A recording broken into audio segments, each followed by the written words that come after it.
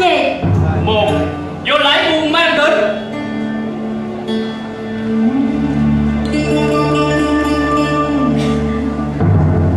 Chiếc áo của làng đông được chọn vì thần lực của đôi mắt rồng rất hợp với ý vua. Lo lắng trước giận nước đang hồi nhiên ngã làng đông đã được thù nghề nhưng làm tay làm tay bị nhục về nghề. Ông của ngoại em đóng chặt cửa. Bỏ cả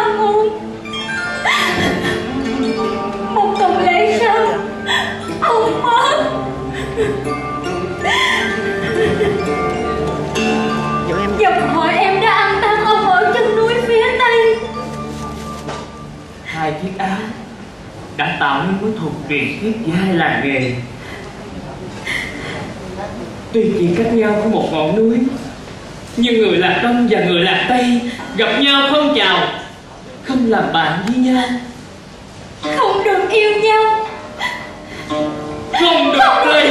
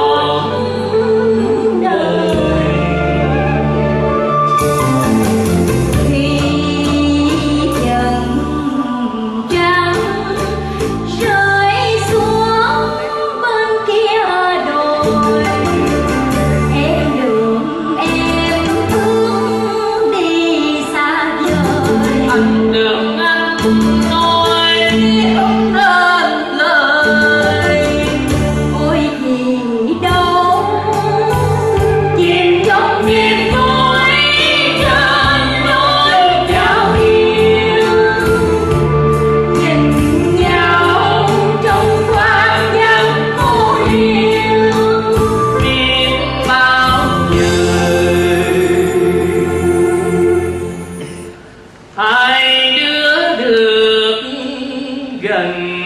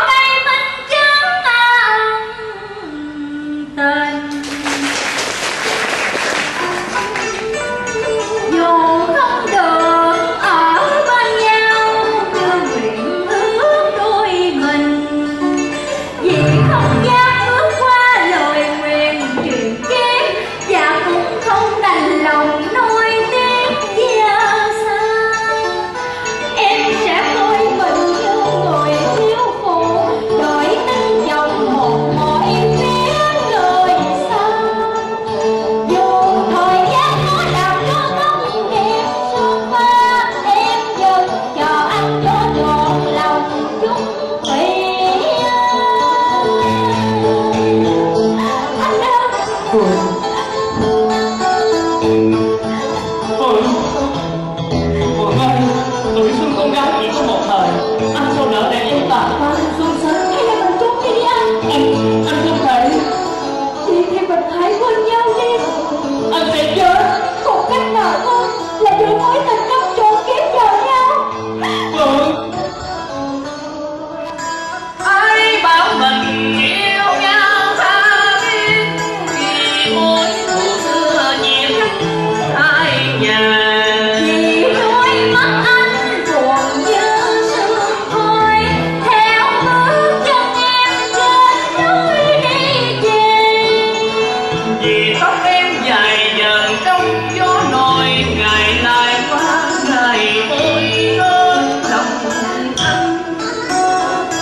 nắng đây mỗi lúc bụi rồi khi xa nhắm là thương thương nhớ nhớ. Đêm một đêm gian vắng lòng anh đau đời. Là mối hận tình đã suốt đời nhau người đâu bắt chúng nó lại bắt chúng nó lại. Hai chúng mình đã phạm luật của hai làng trai gái hai làng không được nói chuyện với nhau không được yêu nhau không được cưới nhau. Bắt nó lại đập nát cái tay coi như là sự trừng phạt phượng làm con hai lần gia lấy chồng. Chồng của con là một thương gia giàu có nhất mang đem hai tượng của làng tây ra? Người làng tây và người làng đông đời đời kiếp kiếp không thể đổi chung trời trước khi ông cố ngoại chết, đã xé áo, lấy máu của mình, viết lên bốn chữ. Hãy nhớ thù này. Mày hãy nhìn đi.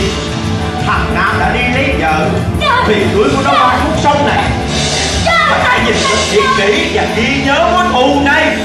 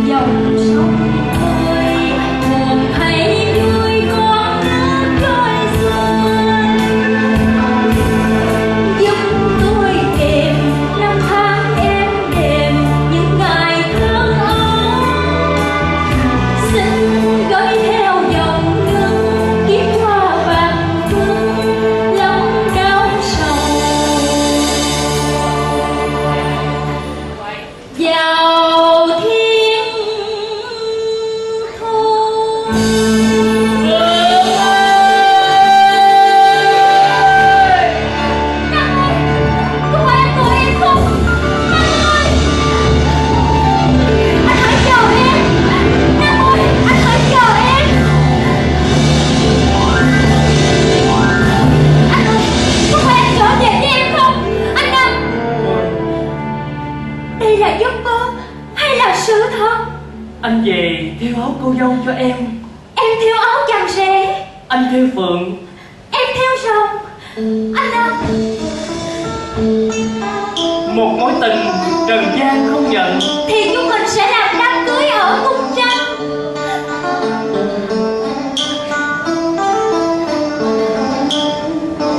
Đây em buồn